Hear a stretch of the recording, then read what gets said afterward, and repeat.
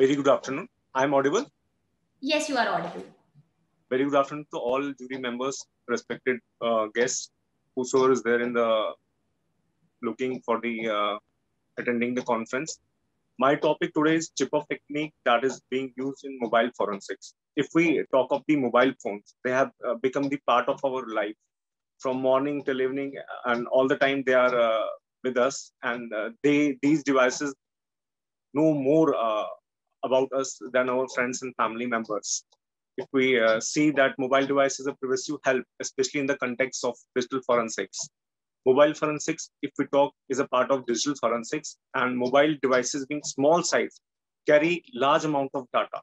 And if we see mobile devi devices as an evidence source, these carry application and communication data, multimedia files, internet history, email, uh, and location data and if at the time of uh, crime uh, scene uh, we visit and if we find any mobile phone there and the data whichever is obtained from that that can add to the investigation and, and it can help the investigating agencies to crack the uh, crime.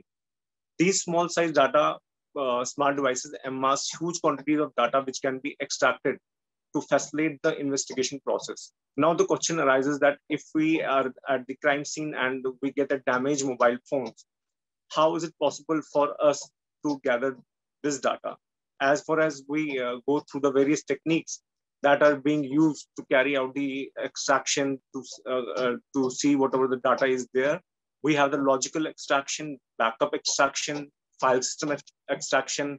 We call it as uh, uh, other, we have JTAG technique, ISP methods, but all these methods when fail, then we are uh, only dependent on the chip off technique. And this is the new, new technique that is being uh, used by the digital forensic experts to gather the information from the uh, mobile devices and that can help us to crack the uh, crime, that can help us to uh, know what the reason behind the uh, crime that has happened there.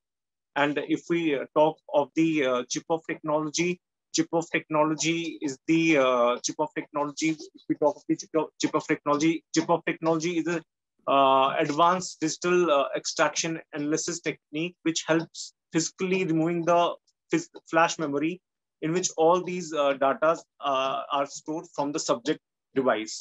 And first of the uh, uh, that that that is in the this chip off technology is the opening of the damaged phone first of all, the damaged phone is opened properly and the, uh, the parts are uh, kept separate. The PCB is taken down.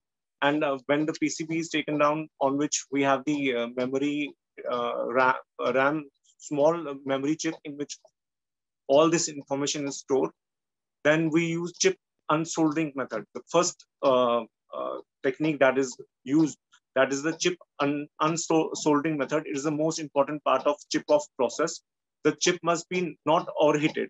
And we use uh, the help of the rework, uh, rework stations that uh, provide us the temperature that uh, we have been operating to take out the chip.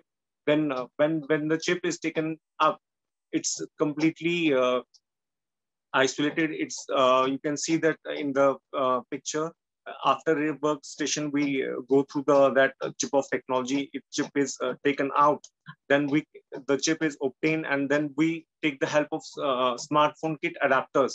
It varies from uh, various phones that we have different uh, chip adapters as far as the pins of the chips are concerned. Uh, the various smartphone kit adapters are used. Then we keep we implement the chip inside the these uh, phone adapt kit adapters and uh, we have various kit adap adapters. It depends on the chip. It depends on the mobile uh, phone that that is being uh, uh, obtained uh, from the crime scene. And after that all the process is completed that then we have the these adapters. These are connected to the computers. And if all the things go in a positive way then we can extract the uh, data. We have the different uh, softwares. Uh, here we are using the oxygen uh, forensic software that is being used to extract the data. Then we have other uh, mobile softwares that can be used to extract the data. Like we can take the help of the, once the communication is set up between the chip and the computer, we can uh, use the uh, various softwares that can uh, retrieve the damage, that can retrieve the, what we, what we say that if any evidence has been de uh, deleted from the uh, mobile, that can be retrieved. Like we have MOBILedit, Belkasoft software is there, XFORM, magnet forensic software is there Autopsy software is there, EnCase, and uh, uh, as uh, we can go through the communication, what the had the in the what we call as we say that application and communication data, we have the call logs. We can check out that where the calls were made, and uh, from the multimedia files we can uh, get the EXIF data we can get the metadata that uh, the locations where the photographs were taken and we can get the inter internet history and mail also. We can go through that and even uh, through the whatsapp chat if we uh, talk of the previous uh, paper presentation by uh, Preeti ma'am one of the question was uh, raised that whatsapp chats whether it's encrypted how we can have the access to the that that chats.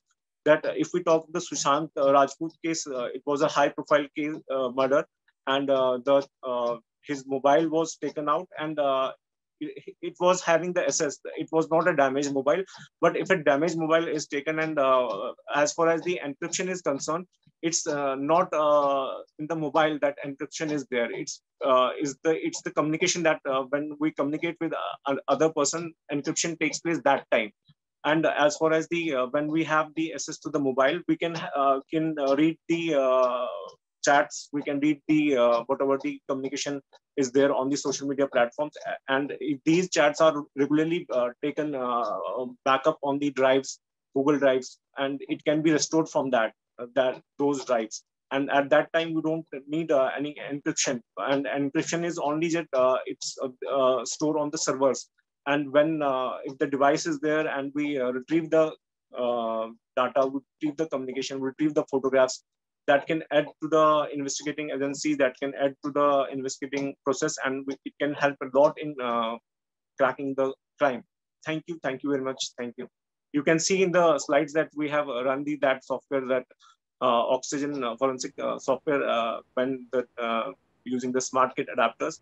We can get the phone logs, we can get the multimedia files, we can get the chat logs, and all these information can add in the investigation. Thanks a lot. Thanks.